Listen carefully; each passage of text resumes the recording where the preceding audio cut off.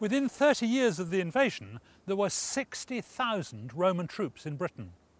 They'd come from some of the most advanced places in Europe, and to them, this sort of settlement must have seemed primitive.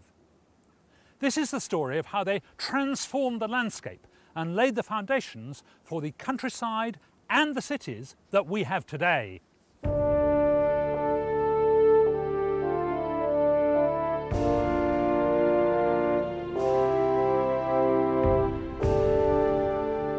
When the Romans arrived, Britain was divided into 33 kingdoms, each one a hill fort surrounded by tiny agricultural communities, like this reconstructed one at Butser in Hampshire. The native Britons lived in large circular houses.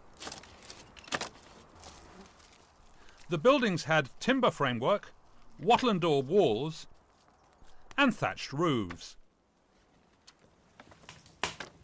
They spent their time farming and raising livestock and made a comfortable living off the land. The Romans thought they were uncivilized barbarians and immediately set about transforming Britain into a province of the civilized Roman Empire. But the Romans did know the Celts were good farmers. In fact, that was part of the reason why they came. The chieftains had been making a grain surplus and were already trading it with people in Gaul. Well, the Celts may have been doing all right on their own, but they were in real trouble when all these foreign troops moved in. It's been calculated that to feed one legion for a week would have taken something like 5,000 litres of grain, which would have corresponded to something like 7,000 loaves of bread.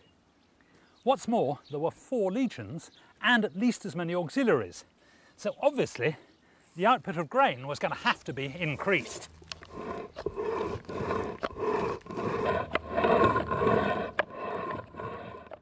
The Romans set about introducing intensive farming methods. They brought in new crops like turnips and carrots, and they drained marshes so more land could be put under the plough. They also made some significant improvements to farming tools. The Celts may well have used a simple plough like this one. It's called an ard, and you can see it's just two pieces of wood. There's a point here which digs into the soil and makes a furrow, a sort of drill into which you can sow your seed. And then there's the handle which simply slots in, so it's very easy to make and very easy to repair if you break it. The Romans almost certainly improved this by adding an iron ploughshare. Now this would have been much better at cutting through the soil, particularly the heavy northern soil. And later on, they improved it still further by adding wheels to stop the whole plough from sinking into the ground. They also invented some multi-purpose tools. Even the ordinary billhook like this, the Romans adapted by adding an extra blade on the back. That meant that one workman could do a variety of different jobs. For example, you could trim off a piece of wood like this. Look at that. Terrific. This multifunctional gadget is over 1700 years old and made of silver and iron. It has to be the forerunner of the Swiss Army knife. As well as an ordinary spoon and fork, there's a tiny spoon, perhaps for scooping up spices, a spike, possibly for opening oysters, and something that looks remarkably like a toothpick. It's a fantastic design. More efficient ways of working the land gave people the freedom to go off and do other things. Many headed for the military camps, where there was money to be made providing goods and services for the well paid Roman army. Growing trade and commerce helped the development of early settlements alongside the forts. These eventually became Britain's first towns and cities. One of these was York, or Eboracum as the Romans called it, strategically sited in the homeland of the rebellious Brigantes tribe who lived between the Humber and the Scottish lowlands. Eboracum began as a military settlement, but it soon spawned an important civilian town which eventually became the capital city of the northern province of Roman Britain. York may be best known as a Viking stronghold or a medieval city, but its roots are Roman. And if you look carefully, there are clues to its early occupants. I've been navigating around York using a map of the Roman city, and it's rather interesting. I've just come up Via Praetoria, that's Headquarters Street, and I've met the junction with Via Principalis, that's the main street, High Street, now become High Petergate. And you can see they built the whole thing in a square and they laid out all their streets in a grid pattern like a modern American city. In fact, this kind of street layout is one of the key characteristics of a Roman town and one of the empire's lasting legacies. Each new town followed a standard blueprint inside a defensive wall, this design was so successful that future generations built directly on top of the Roman foundations. This is one of the fortress towers. Now the top bit is medieval. You can see the big bricks and the arrow slits. But the bottom bit is all Roman, and we know that it's Roman because of that decorative band of orange tiles about seven feet off the ground. That's almost a trademark of Roman construction.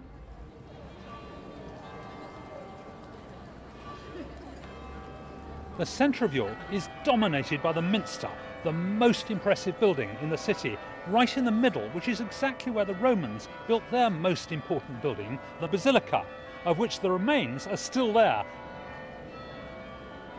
The Minster is built right on top of the original Roman building. The evidence is down in the crypt. This is a little building, outhouse, built on the side of the basilica, the main town hall and meeting place. And this was a Roman road, which would have had soldiers marching up and down. And just so they didn't get their feet wet, this was a drain collecting all the rainwater and taking it off down towards the river. Well, archaeologists didn't believe it could still be working 2,000 years later, so they put some dye in here and it came straight out in the River Ouse, half a mile away. Even in one of the pubs, you can find revealing traces of Roman York.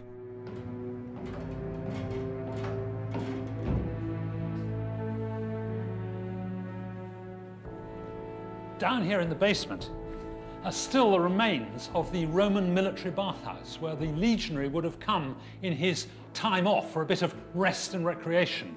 And over there, you can still see the foundations of the hot room, the, the steam room.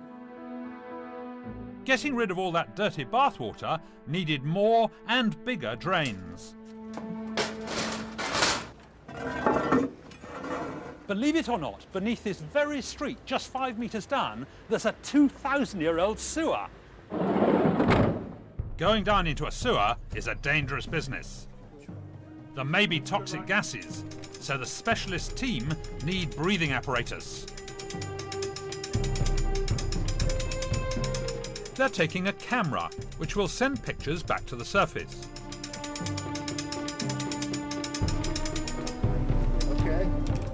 The archaeologist who's made a study of this sewer is Patrick Ottaway. Okay, so Patrick, what are we seeing? What's that muck at the bottom? This is fantastic, actually. We're looking at the main channel of the Roman sewer here.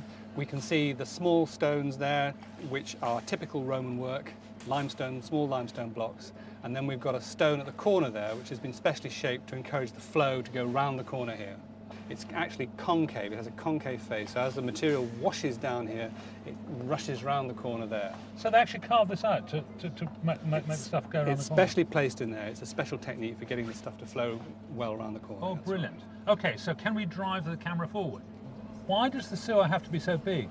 It has to be big because it's taking an enormous amount of water and latrine material every day, probably about 70,000 gallons a day. 70,000? Yes. So there were what, 5,000 people here in the...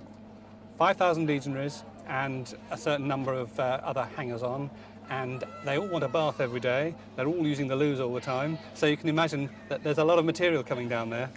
So what have you found down these sewers?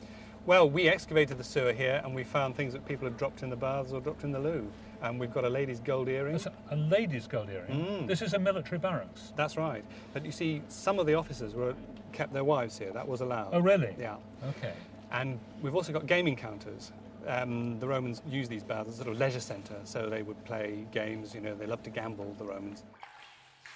Other evidence from the excavation of this sewer gives us information about who built it. We find lots of tiles which have the stamp of the Roman legions on, and I have a piece here, and this is a stamp which says L E G I X, which means Ninth Legion, Ah. and they built the sewer. The men of the Ninth Legion, who were so proud of their tiles and everything they did, they sort of stamped them you know, whenever they could. They would have built this thing here, and um, it's still in very good order. It stood the test of time, and it'll be there, I would imagine, long after all the Victorian sewers and the modern sewers have just have disappeared. It it? was built to last, and it has done. Roman sewers were a wonderful engineering achievement and the hallmark of civilized urban living. In other parts of the empire, evidence remains of high rise apartments and street lighting. The Romans also introduced the concept of glass windows. Windows were just holes in the wall for most houses, perhaps with a security grille. But the evidence suggests that by about AD 100, the rich householders were putting in panes of glass to let the light in without letting the heat out.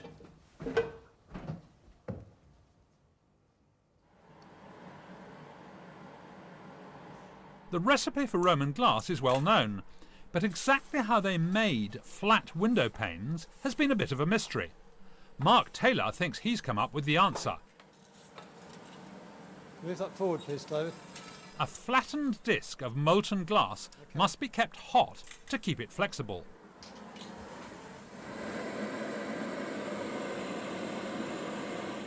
Early theories suggested that molten glass was poured into a mould, but Mark thinks it was somehow pulled into shape. So you just have to tease it out until it's big enough. Yes, uh, I don't think we we're quite hot enough in here. I can't really get this uh, furnace much hotter. Um, but it does rely on areas of the glass staying cold and other areas getting hot. So I've got something to pull against when I'm, I'm, I'm grabbing the cold part pulling it away from the hot part and the hot part stretches. Okay, David. Fragments of early Roman window glass have been found with distinctive tool marks on their edges, like those on Mark's glass, which convinces him that they were pulled into shape. It stays lovely and flat, doesn't it? It settles down on the, on the surface each time. It does, but the danger is if it gets too hot, then it's going to start to stick to the backwash. Uh, so it's a case of experience and judgment and not allowing it to get too hot.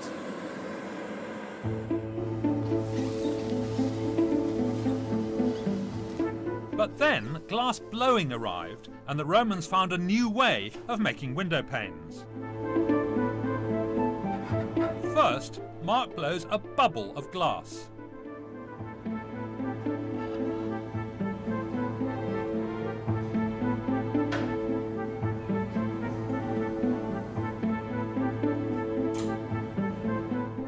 He spins it round his head to stretch it into a cylinder.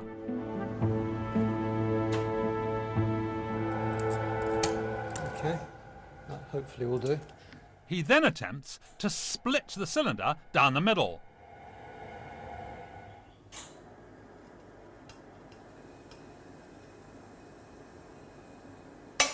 Oh, There we are.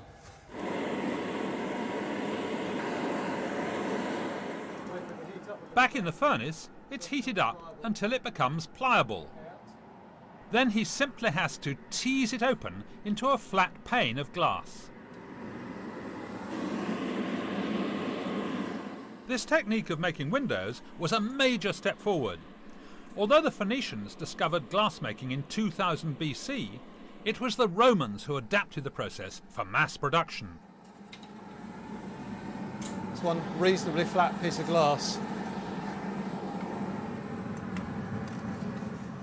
This is the cast glass made by pouring onto a slab, and you can see it's pretty rough, it's translucent, it lets the light through, but you can hardly see through it, it's not transparent. It'd be good for your bathroom windows. This is the one made from a cylinder opened out, and you can see it's much, much clearer. It's a lovely piece of glass that. It's much thinner than this one, and it's got many fewer bubbles in it. It's altogether a much better piece of glass, and you can make bigger windows with this method.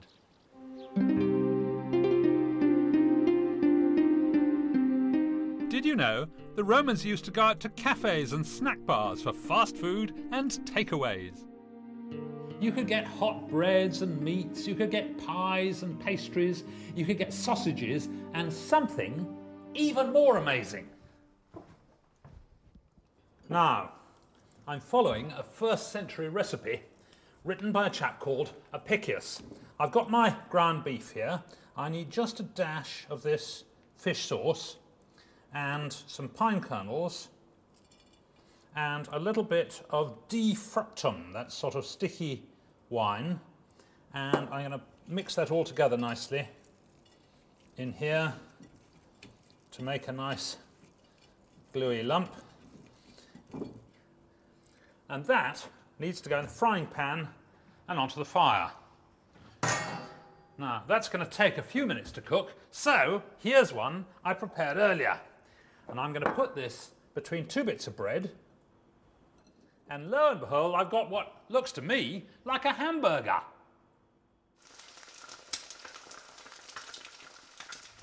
Open kitchen fires in timber framed buildings must always have been a fire hazard, and presumably early firefighting methods were little more than a bucket of water and perhaps an axe to chop down burning timbers.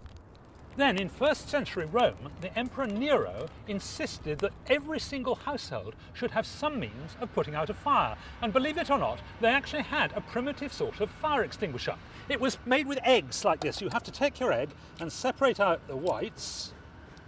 And there we are, lot of, lot of white of egg there, and there goes the yolk. And then you add vinegar. It's like a sort of hollandaise sauce gone wrong. And you whisk them up together like this whisk, whisk, whisk, whisk, whisk. And the idea is you chuck this mixture on the fire. The theory being that the vinegar penetrates to the heart of the fire and the egg white forms a protective layer on the top and keeps out the oxygen. Well, I'm a bit dubious myself, but I have to try it out.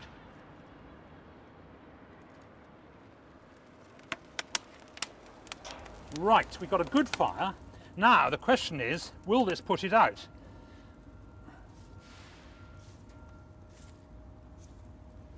Well, it's not bad. Not bad. It's sort of almost out. There's a bit of smouldering going on, but I have to say that it does seem to work on a small fire. But some Roman towns and cities were razed to the ground by fires that burnt out of control.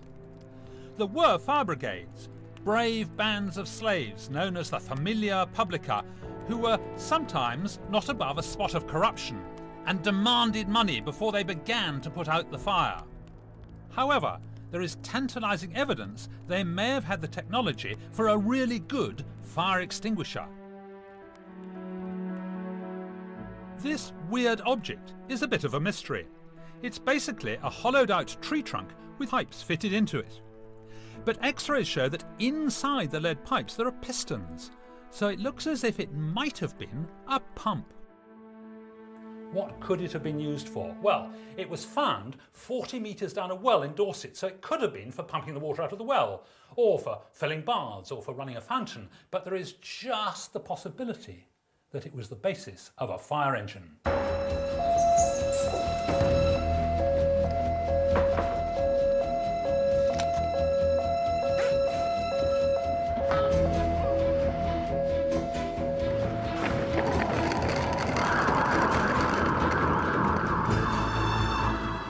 Avon Fire Brigade are helping to test out a pump made to a Roman design.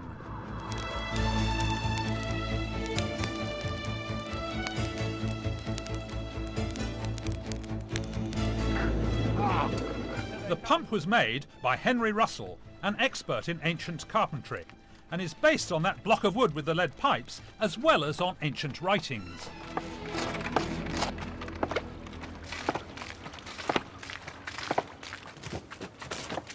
Wow!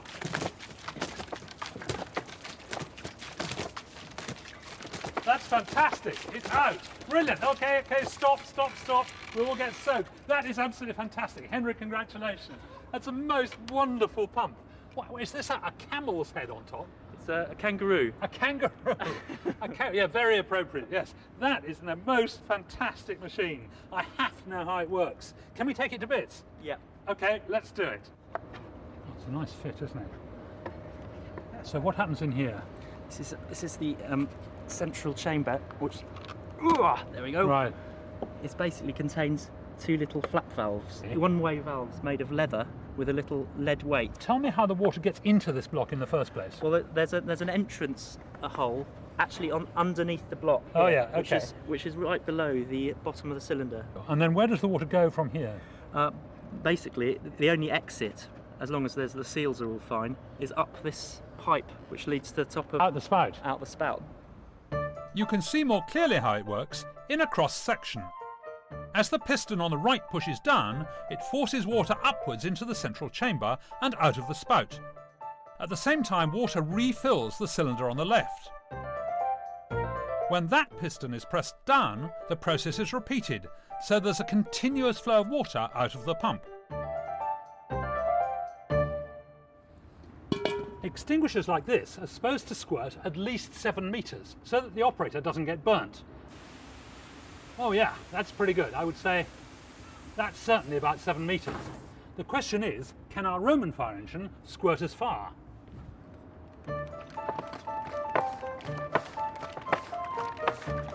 That's terrific. I reckon that's going 7 metres.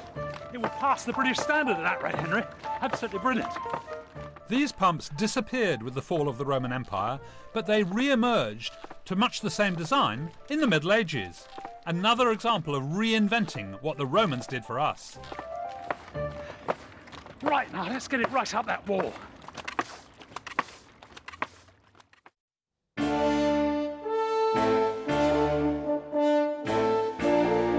The Flying Gardener is about to touch down and touch up some greenery over on UK TV style gardens. Next on History, the long, straight roads that form the arteries of an empire are examined in What the Romans Did for Us.